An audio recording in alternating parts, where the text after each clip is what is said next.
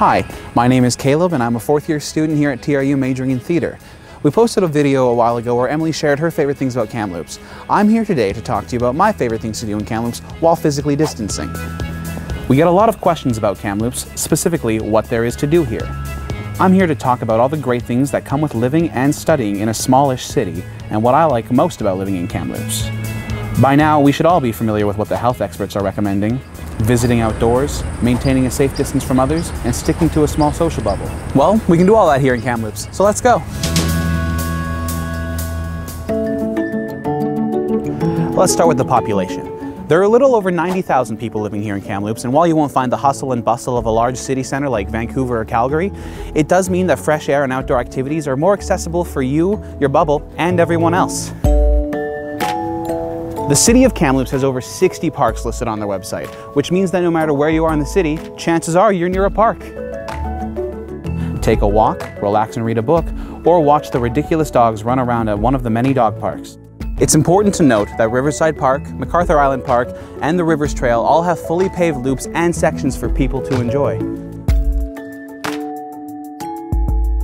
If you're into outdoor adventures and sports, then Kamloops is the right place for you. There are extensive hiking, nature, paddling and fishing lakes, and mountain biking trail networks that allow more than enough space for enjoying the great outdoors and keeping a safe physical distance from others. For more on all things recreation and outdoors, be sure to visit tourismkamloops.ca. They're the experts. Which brings me to the next important piece about Kamloops. We are in Canada.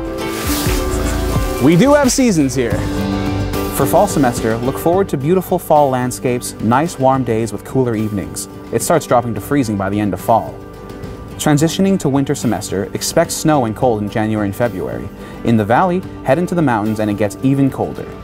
Remember, many of the outdoor recreation areas remain open throughout the winter months. If you're willing to layer up, you can still get outside and get some vitamin D. Good news is, all cold things come to an end, and the final part of winter semester is quite pleasant as springtime rolls around in March.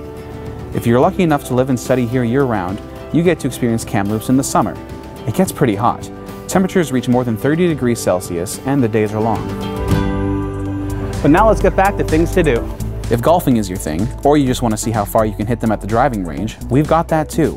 Kamloops has 11 golf courses in the vicinity, from luxury to local. There's also a free mini golf course at MacArthur Island Park. Bring your own putter and golf balls. And there are two excellent disc golf courses that are free to use.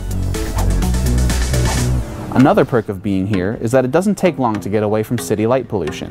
You can drive about 15 to 20 minutes and view breathtaking cosmic events like comets, meteor showers, northern lights if you're lucky, and general stargazing.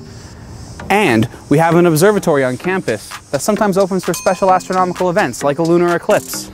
On your first visit to our downtown core, you'll notice many vibrant murals. We even have a back alley mural tour which showcases the best outdoor artwork downtown.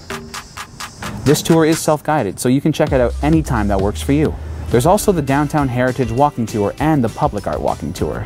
Many of our museums, galleries, and movie theaters have been able to reopen safely during the pandemic. With safety protocols in mind, the public is welcome to enjoy the Kamloops Art Gallery, the Kamloops Museum and Archives, and the Kamloops Film Society. They even made a pop-up drive-in movie theater. I volunteered there this summer. Take, for instance, the Kamloops Art Gallery's biannual Luminocity Outdoor Video Public Art Exhibition.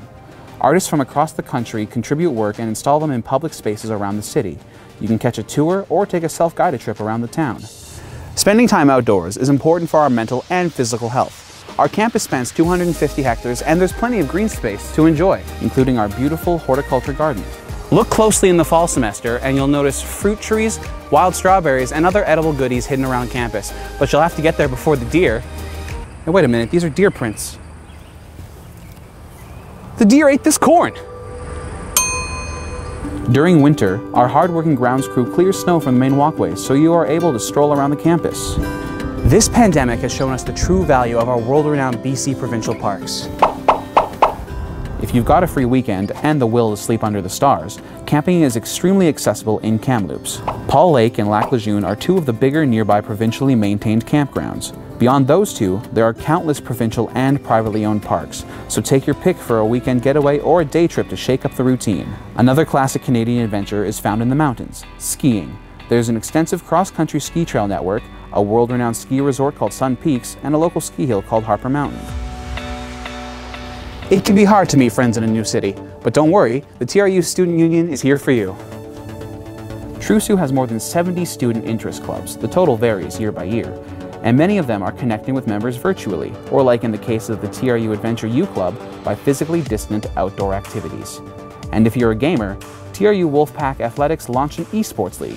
It's open to everyone in the TRU community and accessible from anywhere in the world. Community groups have also adapted and are determined to facilitate connection. Kamloops Pride usually hosts in-person events, but are keeping the gatherings going virtually. And finally, TRU is committed to supporting students. The Faculty of Student Development hosts regular Instagram and Facebook Live sessions with wide-ranging, helpful topics.